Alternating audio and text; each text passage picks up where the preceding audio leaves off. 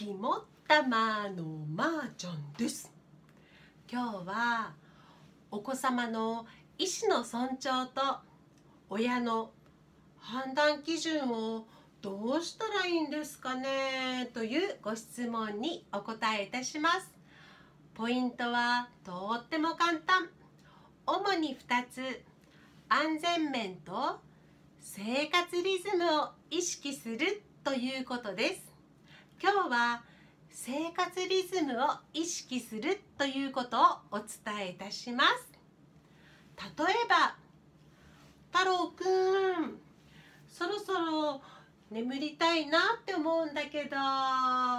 えー、まだ遊びたい。まだ眠りたくない。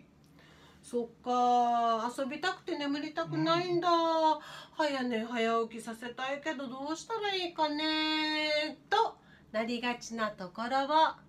太郎くんそろそろ眠りたいんだけど。まだ眠りたくない。そう？お母さんねだんだん眠くなってきたさ、えー、太郎くんと一緒に眠ったら気持ちいいんだけどな、うんそろそろ暗くなってきたしお部屋も暗くして一緒に眠ってくれると嬉しいな。お部屋さんおやすみなさい。太郎くんおやすみなさい。と言ってお部屋を暗くして早寝早起きの生活リズムを整えます。